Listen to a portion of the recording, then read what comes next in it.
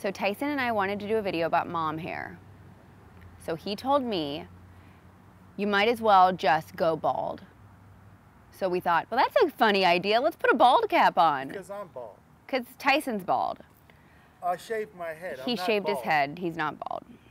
Okay. So we did it, and then I watched it, and I was like, oh, is that insensitive to people who maybe have legitimate problems? So I would like to apologize before the viewing of this video. That is not my intention. It was just supposed to be funny, but I can see where it could be off putting. So that's the backstory. Enjoy. Today we're going to talk about mom cuts, efficiency cuts, mom dos, whatever you want to call it. It's basically one step closer to this every day. So talk about it. Why do moms Why do moms cut, cut their, hair? short and short and short? I think it's very simple. Hair equals more work. You want less work. You're busy with the diapers, you're busy with the children, you don't want hair. I mean, it's really that simple. I mean, you haven't moved. You haven't put your hair out of your face one time this whole time. I know. I'm not even touching my face. I'm like free. I'm free to do things. Look, I can do things with my hands. Whatever I want to do. You might inspire a Some whole people to movement shave- of bald moms. So, so you're basically saying you are not your hair.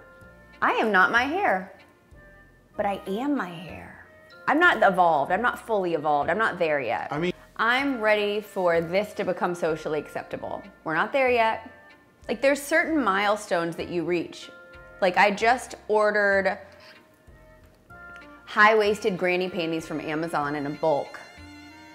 That's where I am. interesting. I would like to shave my head. I would like value pack granny panties. I would honestly like a uniform, like a handy woman, like a zipper, a zipper all the way up.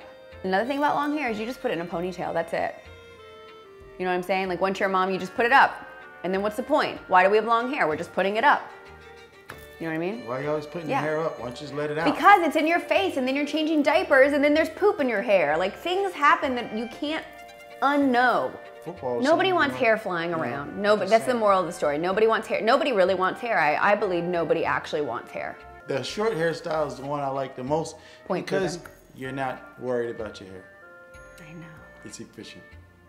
Sir, please Yeah, don't no. call my hair efficient.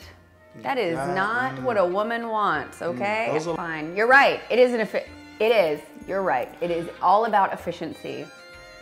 I don't care. I'm a machine. I got things to do.